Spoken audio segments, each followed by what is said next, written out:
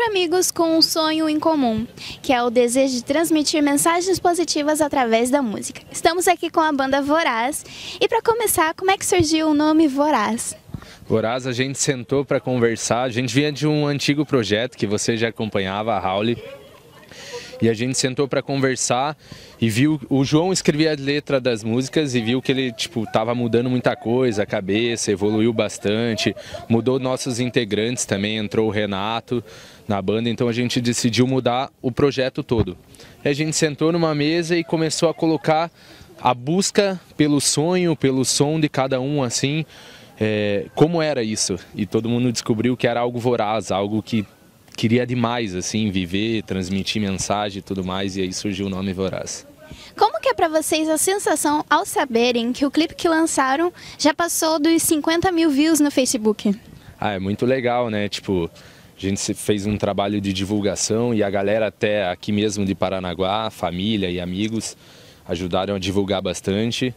E, e bastante gente nova de fora conhecendo o som e tudo mais, então é muito gratificante. Um trabalho a gente gravou aqui perto, na Ilha das Peças, na frente da Ilha do Mel ali, um lugar de muita energia positiva.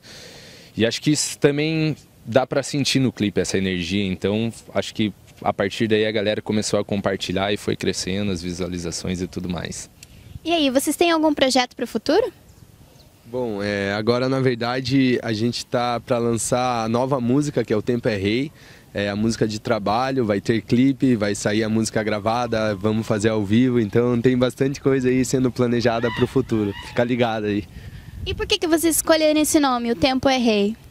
Ah, na verdade a música fala sobre isso, ela tem um refrão que é, onde está inserida essa frase é, e fala realmente que é o tempo que ensina para nós, né? É, é, as coisas que realmente importam na vida e vai mais ou menos por essa vibe, daí a escolha desse nome. O que, que mudou para vocês da formação antiga para a formação atual? Mudou os integrantes. Entrou o Renato Puck aí, o Lucas já veio do final da, da Howley. Mas. E mudou também a energia, como eu disse antes do João, a cabeça, a galera evoluiu. Com a Howley a gente fe, tá, ficou quatro anos na estrada, então, tipo, evoluiu bastante coisa nesse sentido de, de música, de som, de estrada e tudo mais. Então mudou o integrante e mudou a evolução assim toda. Como é que é para vocês assim trabalharem em equipe?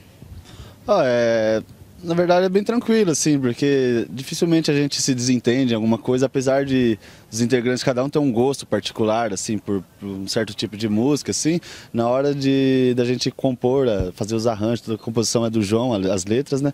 Mas na hora de fazer o arranjo, cada um pega um pouco da sua influência, um pouco de si, um pouco do seu sentimento e coloca na música e sai algo diferente também. É bom por causa que a gente não fica só naquela mesmice, assim, a gente sempre procura fazer algo diferente para poder atingir atingir o máximo de pessoas, que é, a pessoa que gosta de reggae, de rap, de rock, vai gostar da nossa música também. Creio que gosta, assim, né? Espero que goste, assim, na verdade. E o que, que você acha assim, do crescimento que vocês estão tendo? Vocês estão participando de vários programas, entre Band, Transamérica. E como é que é para você saber que conforme vai passando o tempo vocês estão crescendo cada vez mais?